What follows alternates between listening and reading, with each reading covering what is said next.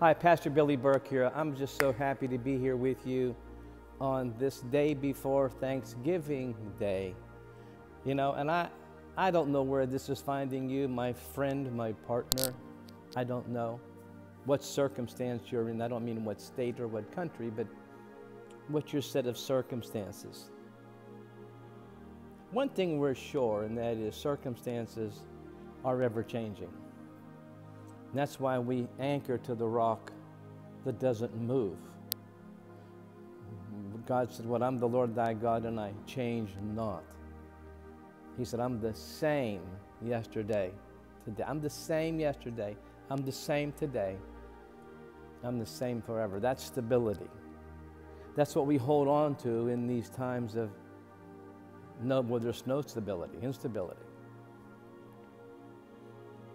But I don't want you to look at where you're at and thinking, oh, this is horrible and I thought I'd be in a better place. We all do in different times of our lives, in different holidays.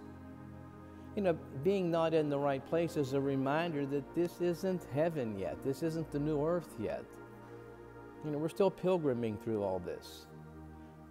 I mean, not just the pandemic and the shutdown and the election and all of that, but I mean, just the overall plan of God. Uh, we, we hit moments where it's so clear.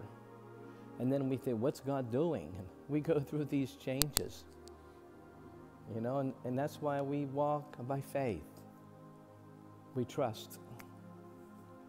You know, whenever we pray and get what we want, we thank Him.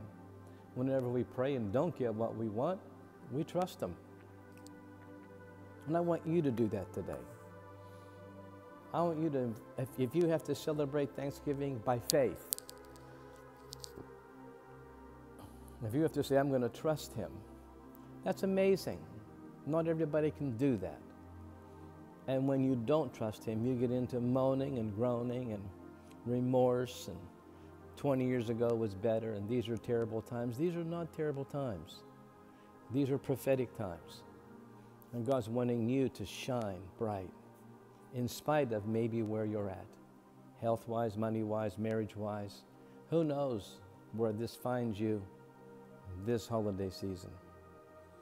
For sometimes it's chestnuts roasting on an open fire. Other seasons in your life, it's just an open fire, no chestnuts. You know, learn to flow with what God's doing in you now, but learn, learn to make that decision. I am not ever going to quit. What the Hebrew children say? Our God will deliver us from that fiery furnace. But if not, we still won't bow. I salute our president for not conceding. I'm not conceding either. There may be a new president, and he may sit in the White House, but I'll never give in to his thinking, his policies. I'll support the office, never the man. Because we support another person. G O D, J E S U S. We must learn to walk in both of these worlds, the natural and the supernatural, at the same time. I know you will. And I know that whatever God's working in your life, you know, one of the reasons you can't quit because it isn't over and He isn't finished yet. With the United States, with the world, with the church, nor with you.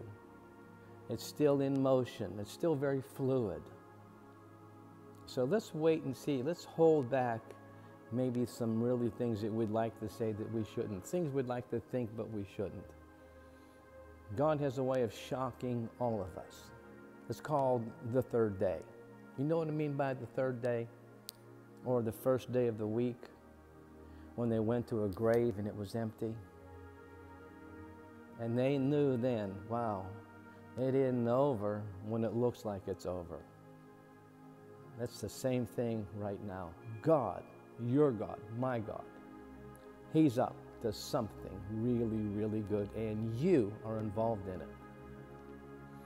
Not just on a global scale, not just on a voting scale, on a personal scale, you in your life, in your family, and where you work and all that you're dealing with.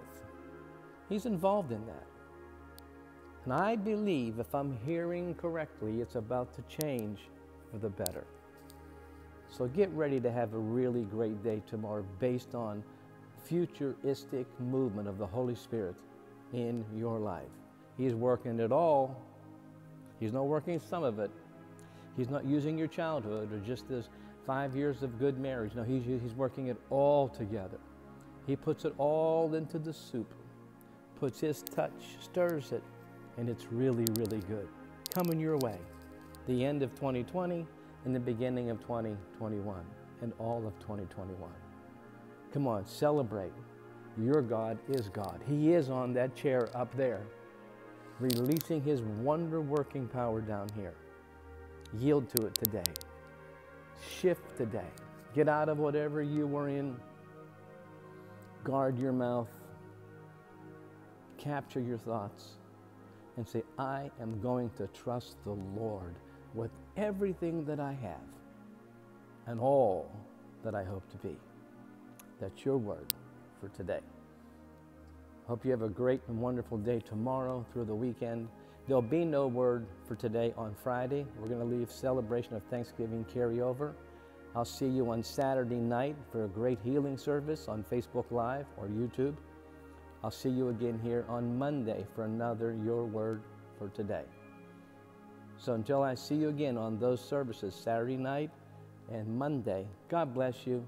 Happy Thanksgiving from this ministry, my family, to you. Have a great day, a great weekend. God bless you. Oh, Mark 10 27, it works for the holidays too. What is that? With God, all things are possible. Call the prayer line, get that prayer, sow the seed, help us stay strong. We'll see you next week. Bye bye.